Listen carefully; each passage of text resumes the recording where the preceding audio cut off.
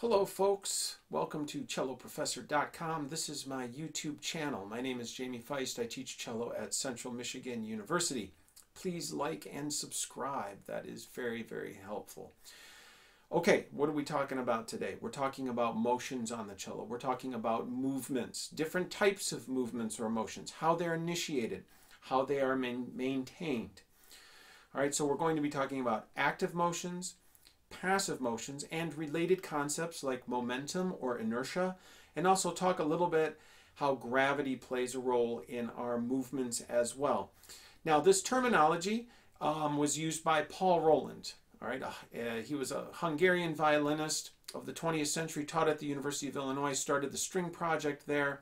If you've never seen his DVD video set and you are a string teacher, I highly recommend that you purchase them and watch them. They are well worth it. Okay, they're a little pricey, but I will put a link in the description below if you would like to get those.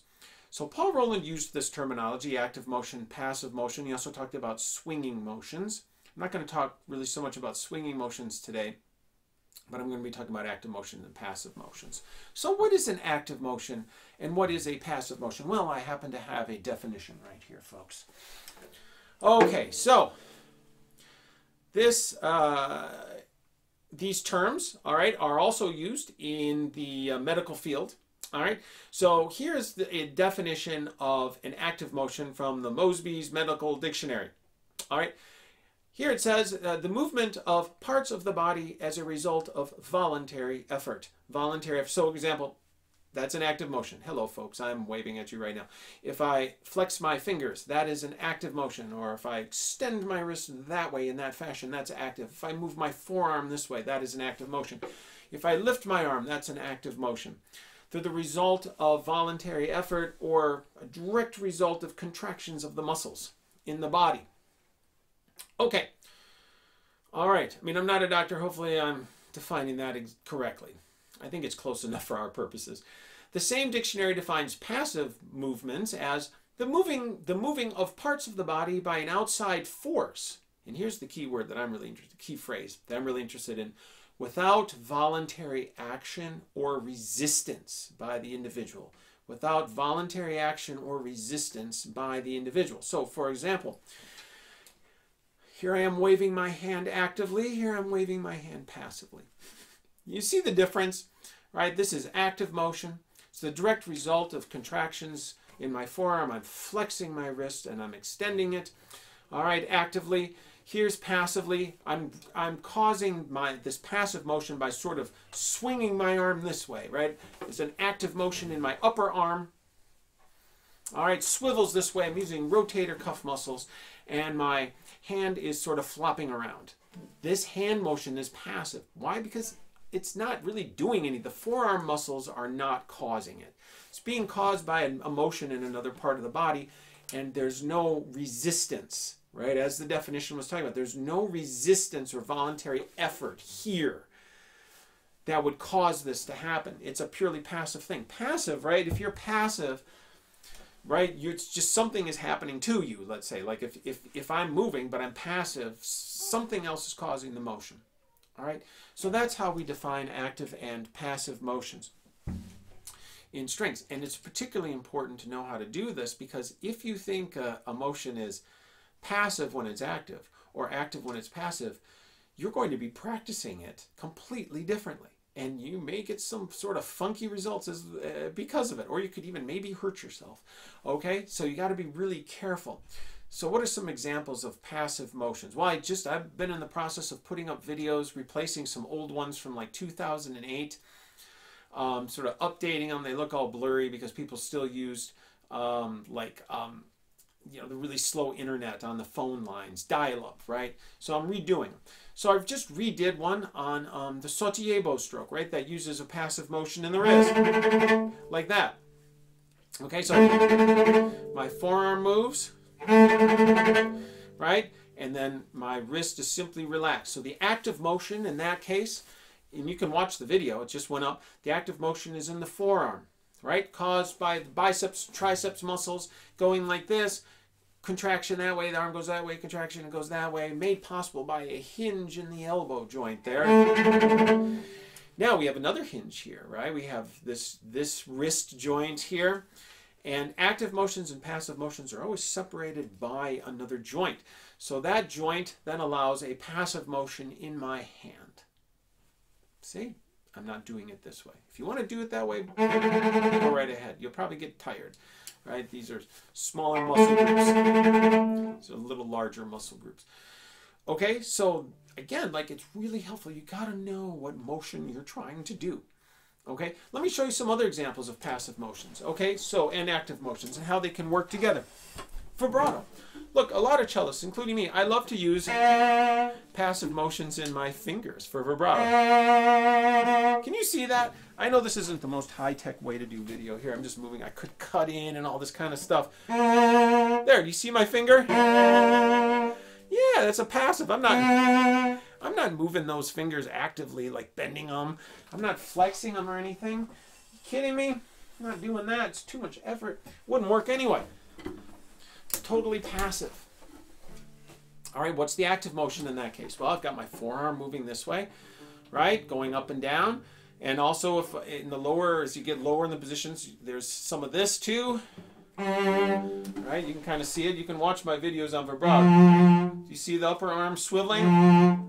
Like this? Yeah. So you have these different active motions in the upper arm and in the forearm, right? And then passive motions are always separated by one or more joints from the active motions and then down the line, down the chain, all right, of cause and effect right, you can start to see some passive motions. And there's one for vibrato. So we have the hand.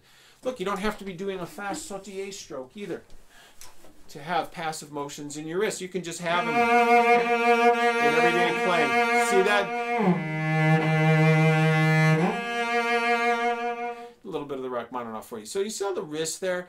Also the fingers, right? I have I have videos on all these on my website if you want to come look at them. All right, watch my fingers when I bow. Look at my pinky and my ring finger. See him bend? Look at my first finger. Kind of bends and straightens a little. Yeah, different schools of thought on that. Some schools of thought don't like a lot of passive motion or motions in the hand or wrist. I love them, so there you go. If you don't like them, you don't have to do them. I use them. Why? What are some advantages to this? Well, number one, there's no way to do passive motions and be tense at the same time. So they give you very concrete places to practice letting go. Letting go of the tension. I mean, I can't, I cannot allow these uh, knuckles to move like this if my the extensor side of my forearm is all tight, right? That's what makes my uh, fingers into two by four fingers, right? All right, I have to release up here to allow them to go. Let go. Right? Look, the forearm muscles on the extensor side and the flexor side. My forearm cannot be tense. All right? For my wrist to go. The fingers, when I change bows, I can't be tense with the finger flexors and extensor muscles in my forearm if those are going to happen. So they actually are very useful all right for for practicing tension release. Okay, so there's the first one. The second one is actually passive motions result in less effort in a lot of ways. Let me show you what I mean. Just just watch this for a second. Okay, so if I move, so I have passive motion in my wrist. Watch how much motion there is in my upper arm. Let's say I get rid of those passive motions and watch how much movement there is in my arm.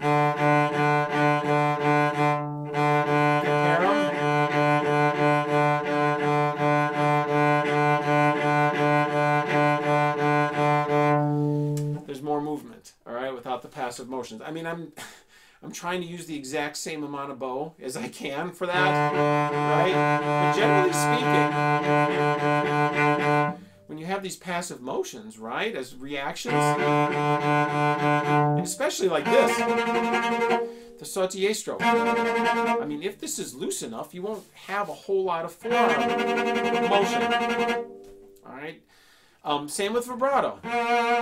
Like I'm using these finger things, right? Now if I want to pivot with the same amount of vibrato, it seems to me it's a little more. A little more motion. Same, same concept. I think that they, they result in uh, more efficient playing.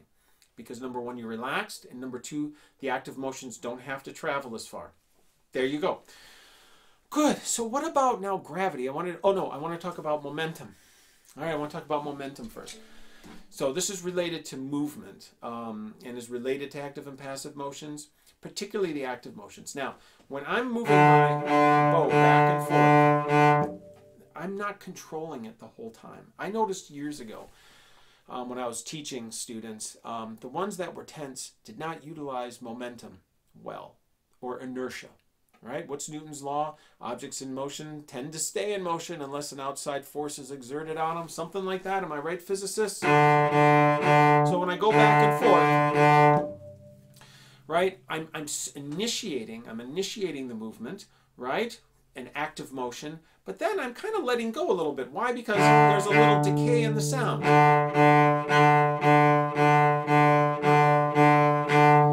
I'm not like keeping on, even this little forearm détaché. I'm not controlling the movement the whole time. I'm getting it started. I'm letting the inertia of the motion or the momentum of the motion carry it. And there's probably a little active motion in there to kind of contribute, but it's not purely active the whole time. It's kind of letting go. You know what I mean? Same with shifting, same with every, same with vibrato. Some of you controlling the movement the whole time. You got to use more inertia, folks.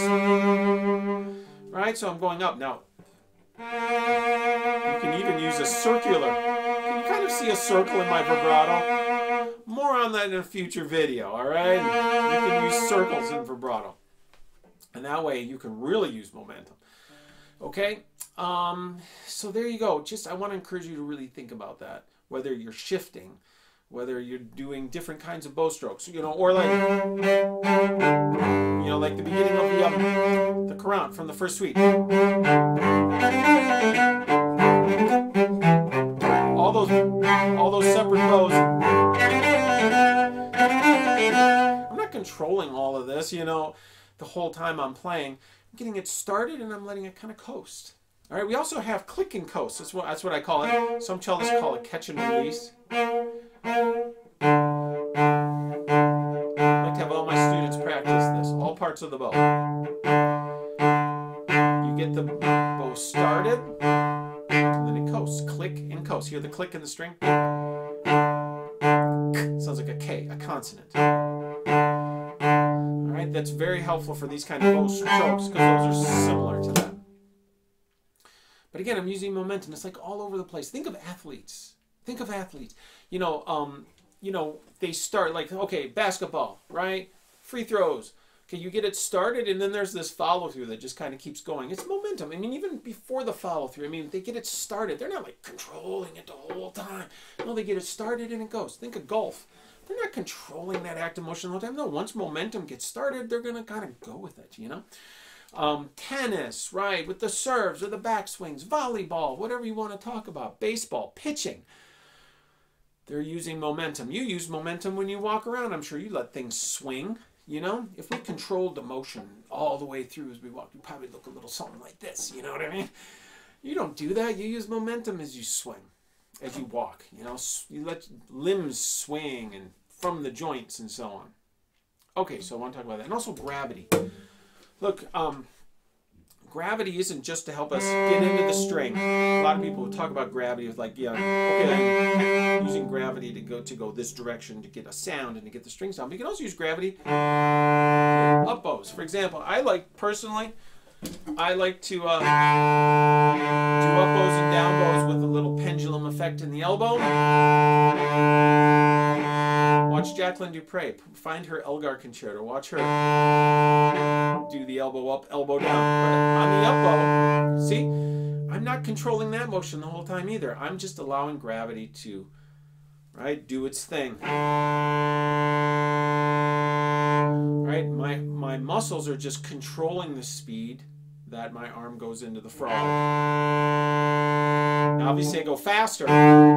Okay, I'm going to be using more inertia and more momentum, right? But gravity's still going to play a role. Let gravity do its thing. You can use gravity with vibrato. This direction. Just practice letting your arm fall. Okay, again, this is like a big sweep, a big umbrella topic here, right? So I'm just kind of throwing a lot of stuff at you.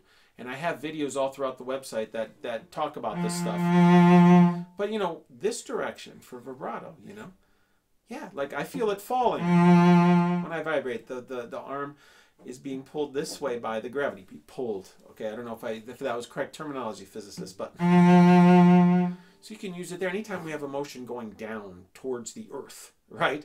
Right, we can for shifting, you know, you know, and even if I'm going this way, I can use inertia anytime we have a motion. That's basically it. I've just found that cellists who have tension issues are trying to control the motion too much all the way through when they could be using inertia and gravity.